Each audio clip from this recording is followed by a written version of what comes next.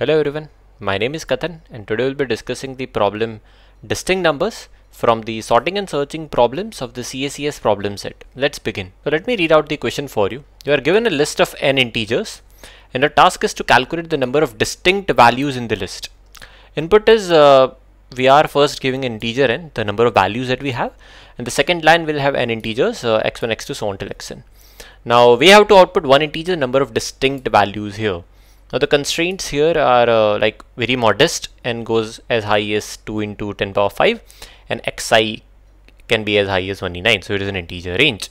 Now this question uh, like the surface is actually very simple uh, and it is actually very simple but let's see like uh, let's try to learn a couple of things from this simple question.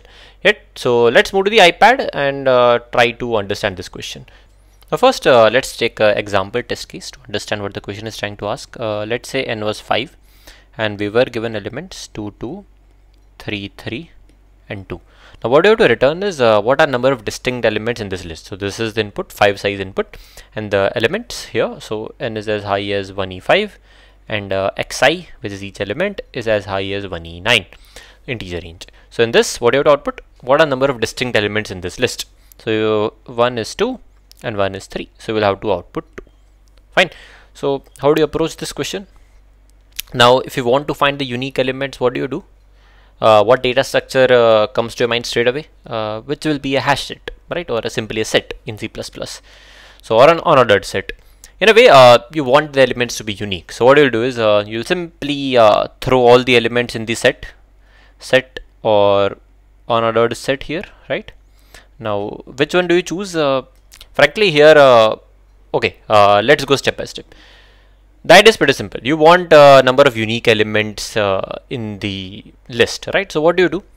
The what data structure uh, only keeps unique elements? Sets right? So you have two options. Either you have the normal set or unordered set. Now what is the difference between these two guys? The difference between these two guys is in set you have all the operations that is insertion deletion which are log n, right? Insertion, deletions, updates, all are log n based operations. And in unordered set, unordered set, all the operations uh, will be order of one, right? The more concrete term is amortized one. So in a way, we on an average, we try to keep the time complexity of insertion, updates, deletions to be order of one. And this guy is log n. Fine, where n being the size of the uh, uh, array or list. So what is approach? Pretty simple approach, right? So you are given input. So what you do is uh, you just go through all the numbers in the list. You go through all the numbers in the list and you just dump them in your set. Just do set dot insert or whatever your programming language provides. Set dot insert of num. And you know that by the property, the set is only going to store unique element. So in the end, you can just return set dot size or whatever size function your programming language provides. So that's about uh, this question, right? Uh, pretty simple.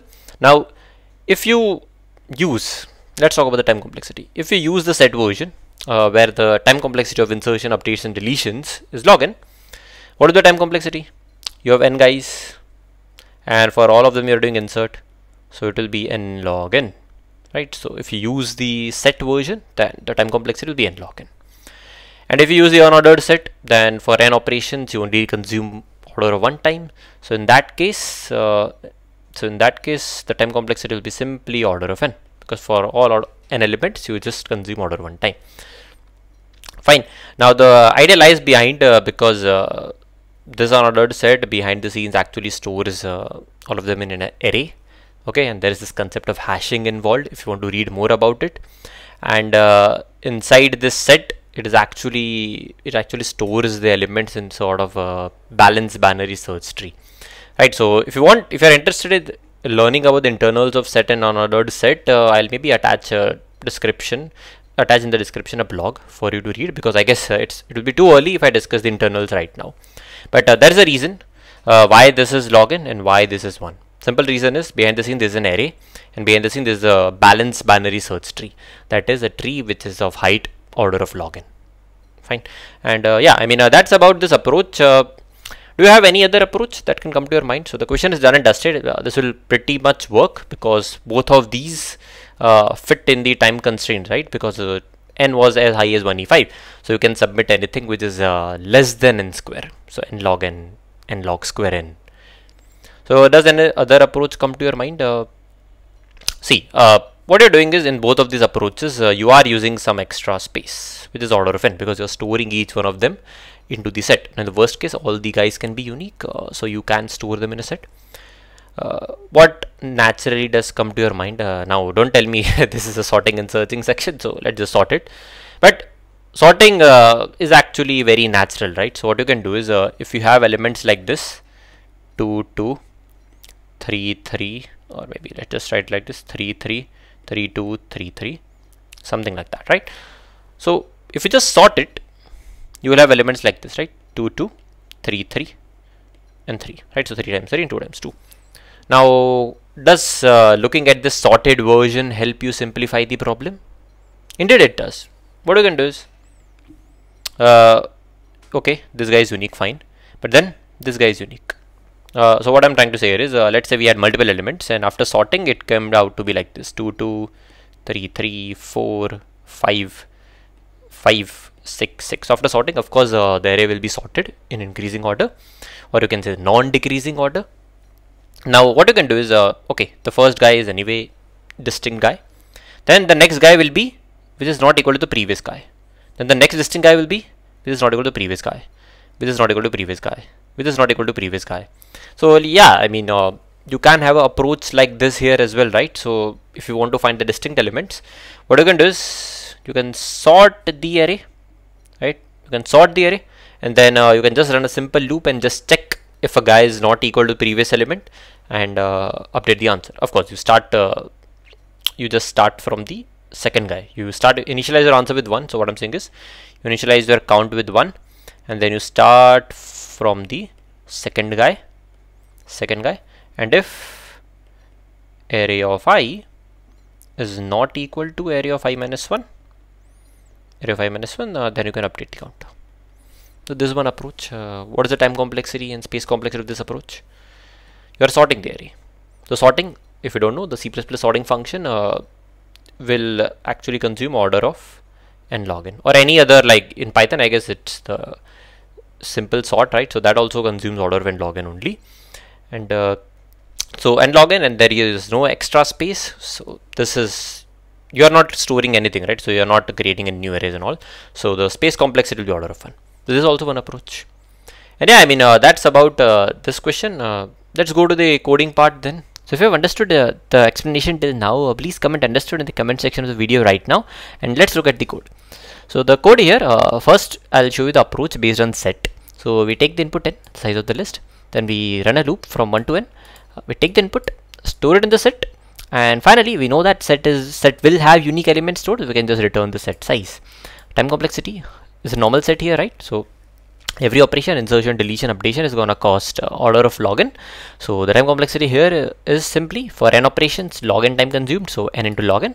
Space uh, here order of n i'm saying but you can argue we are storing the input in the set so it can be order of 1 but maybe if you were provided an external list then you had no other option but to store it. So that's why I'm saying it order of n now what about the sorting based approach? Uh, we do the same thing. We store the guys in a vector right? And then we sort the guy. Now you can write that for loop where you are checking whether a guy is equal to the previous guy or not and you can do that. But there is one simpler approach using C++ STL what you can do is uh, this is unique function. So what this unique function does is it just simply clubs all the unique element to the left side of the array and it returns the iterator one past the last unique element right? So one past the last unique element. So if you want to get uh, the size of the unique element set you can just subtract last guy from the first guy right? So if you have the one past the last guy you can just subtract into the zeroth guy and uh, you can get the size. So this unique is going to club all the unique elements on the left side and return an iterator pointing to the one past the last guy. So if you want to find the number of unique elements you can just do position minus v dot begin as a matter of fact like how about uh, you try implement this unique function which is not very difficult thing. You just have to run a single for loop. So maybe I would love to see your uh, implementation of unique function in the description box of the like you can say in the comment section of this video. Time complexity here uh, we are just sorting the array. Rest of this things is happening in place. So order of n log n. Space complexity is definitely order of n because even this unique modifies the array in place. So that's about it uh, but there's one little thing I want to discuss we already discussed in the explanation part that uh, you can actually use an unordered set as well. And uh, it is supposed to give you you can say order of 1 per inserts right? So the total time complexity here if you use an ordered set uh, can turn out to be order of n right?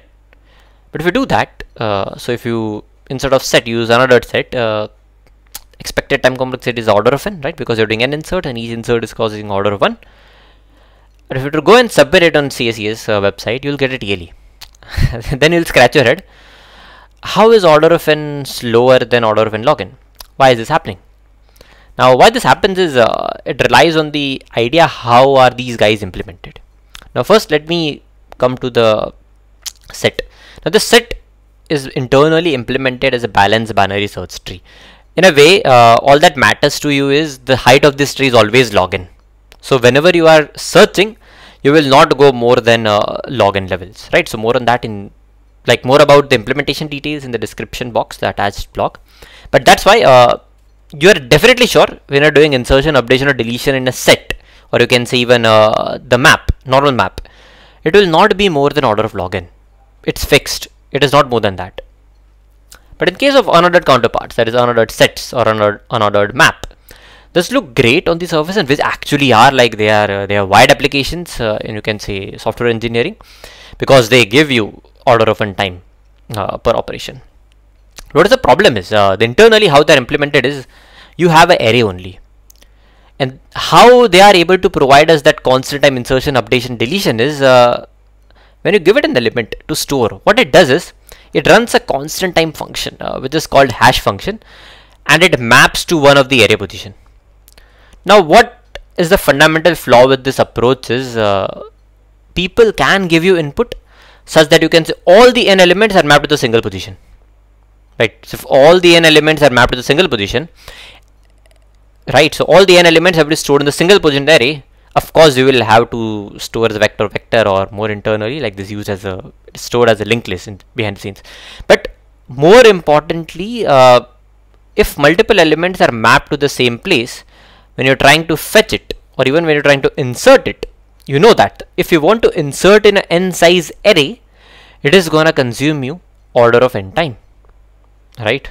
So this is the reason like uh, why this unordered counterparts on the surface they have a amortized time complexity order of 1 but what can happen is uh, if multiple guys are mapped to the same position when you try to insert it or update it the time complexity per operation can be as high as in the worst case order of n which is bad right? So that's why you should not use these unordered counterparts in competitive programming because uh, there can be input sets easily developed which can uh, you can say make the the worst case time complexity of unordered set unordered map hit in a way. The time complexity per operation will be go as high as order of n which is bad right? So then that total time complexity will shoot up to be order of n square which definitely you cannot pass because the constraint was simply 1e5 so yeah uh, that's the reason. Uh, please always use sets and maps. Don't prefer uh, like don't prefer unordered maps and unordered, sets even though they are great. They have their own use cases but don't use them in competitive programming right? So i mean yeah that's about uh, this question. I, ho I, hope you liked it. If you did uh, please give it a thumbs up. And I would love to see your solutions in the comment section in your programming languages. And uh, yeah I'll see you in the next one then